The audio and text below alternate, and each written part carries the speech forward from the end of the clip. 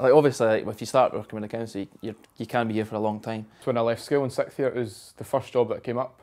So I applied for it and just I got it luckily. So I didn't know what glazing really was when I left school, but now I'm glad I got into it.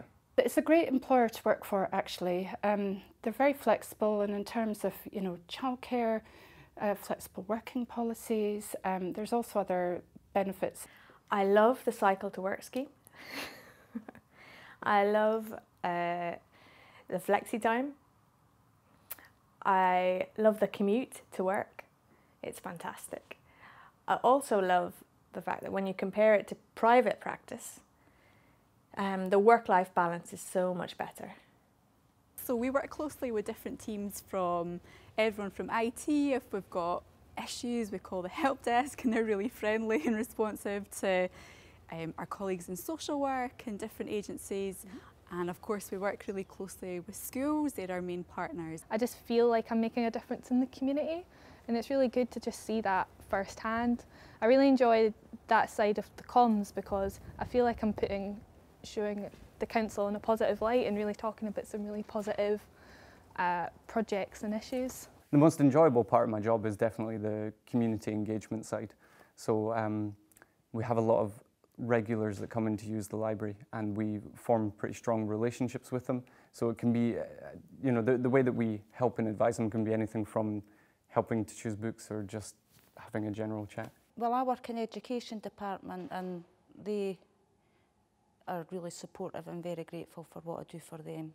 I was interested in working for the council as my mum and dad both work with the East Lothian Council as well. I seen the job advertised on My Job Scotland and was keen to apply for it. I've been greatly supported by East Lothian Council.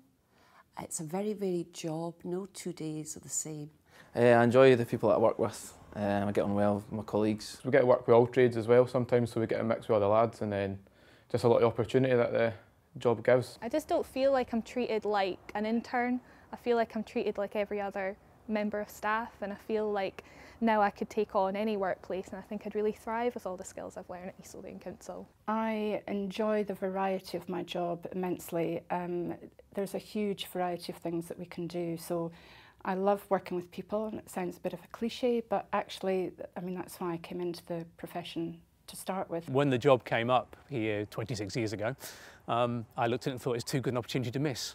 It's such a small council so you pick up at the phone and you know who you're talking to. Um, you can build relationships with people really easily. I wanted to do an apprenticeship over going to college. I felt, felt like working and learning at um, at work is much better than just going to college. And I felt I didn't realise how good uh, the council was actually to work for or with uh, until I started my apprenticeship, and that's when I realised it's it's a really good place to work.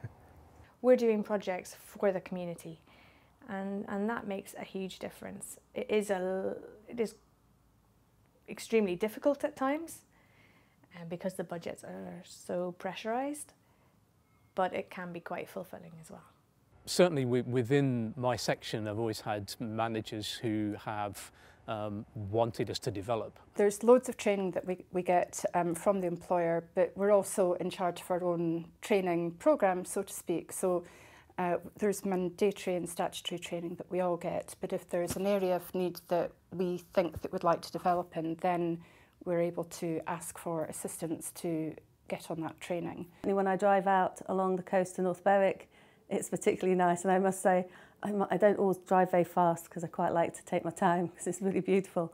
And certainly I, it's got loads of really um, active communities and because we're involved in that, I feel like I half live in the city and half live here. It's a great place to live and work, yeah. Um, I'm, I'm lucky enough in the, that I live in it as well as, as work in it, so all that sort of countryside is on my doorstep even on my days off. I think because of the size, it being quite small, I've been here for um, nine years and I'm actually one of the newer members of our team. So I still feel quite new and I think that says a lot for kind of consistency and staff longevity, the fact that people want to stay um, in the council. I think the main benefit is just that working in local government, there's just so many diverse opportunities. Every day is not every day is different and I've got to be able to speak to people on all different sides.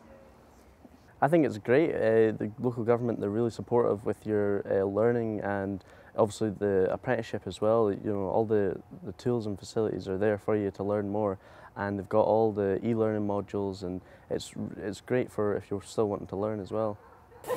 Uh, the most I enjoy about my job is interacting with the kids, uh, working with a nice group of girls, and again, learning more stuff about being a kitchen assistant. Oh yeah, of course. Got everything for you?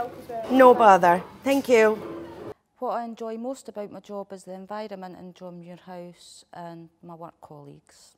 Working in local government is really exciting and it's full of new opportunities and I've really enjoyed my time here. Sometimes the change is quite subtle and small that you make, but it is there and you get the chance to work as part of a team and feel really supported, which is really valuable.